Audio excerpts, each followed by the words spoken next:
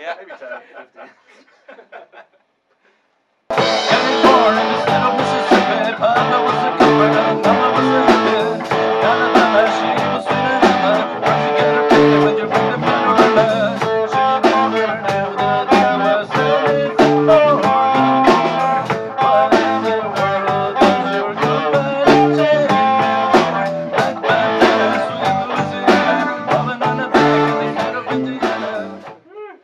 that was a great take.